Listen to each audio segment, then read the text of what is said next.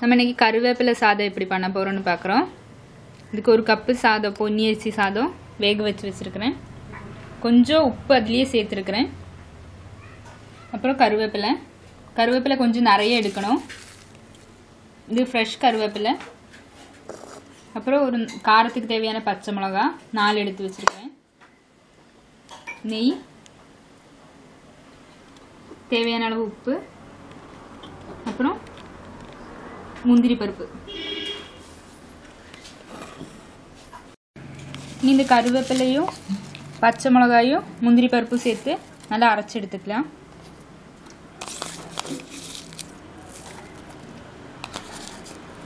நல்லா நைஸாக அரைச்சி எடுத்துக்கணும்.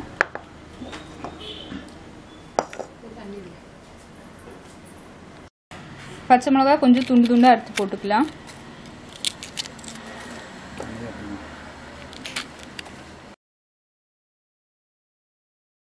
ஐம்பது கிராம் முந்திரி பருப்பு வேணும். இனி கொஞ்சம் தண்ணி சேர்த்து இதை நல்லா அரைச்சி எடுத்துக்கலாம்.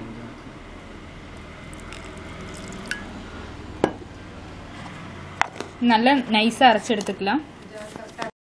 நல்லா நைஸாக அரைச்சிக்கலாம். பத்துலன்னா தண்ணி இன்னும் கொஞ்சம் சேர்த்துக்கலாம். தண்ணி பத்தில் இன்னும் கொஞ்சம் தண்ணி சேர்த்துக்கலாம்.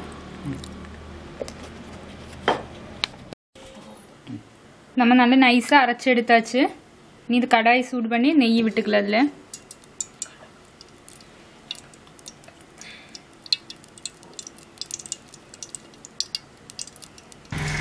தாளிக்கிற கொஞ்சமாக கடுகு சேர்த்துக்கலாம்.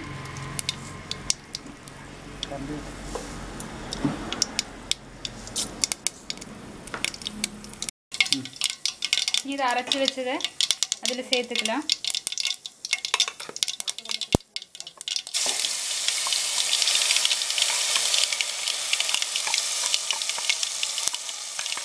இது நல்லா வதங்கணும்.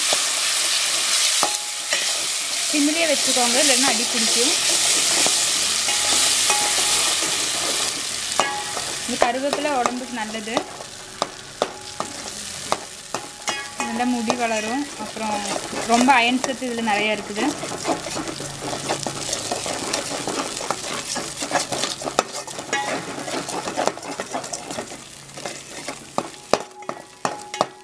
இது இதுலேயே கொஞ்சம் நல்லா வதங்கணும். கொஞ்ச நேரம் நல்லா வதங்கணும். இந்த மாதிரி சாதங்கள்லாம் கேர்ள்ஸுக்கெல்லாம் ரொம்ப நல்லது. இதுமாதிரி நான் இது எங்கள் சேனல்லேயே நாங்கள் நிறைய சாதம் போட்டிருக்கிறோம். நெல்லிக்காய் சாதம் அதே மாதிரி டொமேட்டோ ரைஸ் புளி சாதம் அப்புறம் தயிர் சாதம். இதெல்லாம் ரொம்ப நல்லது ஹெல்த்துக்கு நம்ம எல்லாம் ஃப்ரை பண்ணி சாப்பிட்றத விட இப்படி சாதங்க சாப்பிட்றது தான் ரொம்ப நல்லது. இன்னும் வெரைட்டியாக ரைஸ் நாங்கள் போடுவோம்.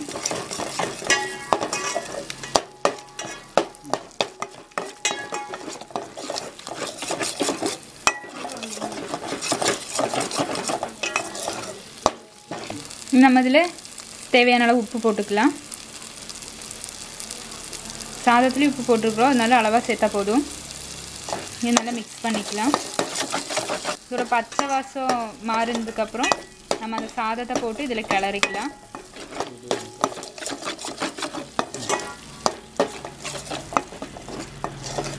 உங்களுக்கு பிடிச்சிருந்தா இது மற்றவங்களுக்கு ஷேர் பண்ணுங்கள்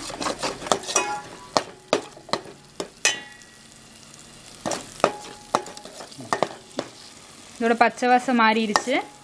நம்ம இதில் நீ இந்த சாப்பாடை போட்டுக்கலாம்.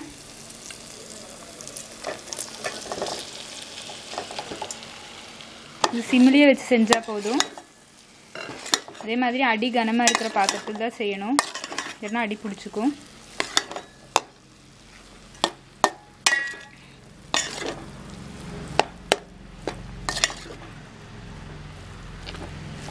நல்லா கலந்து விட்டுக்கலாம்.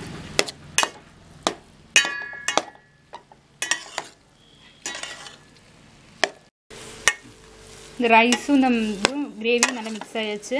நம்ம அடுப்பு ஆஃப் பண்ணிக்கலாம். நல்ல நெய் வாசம் வருது.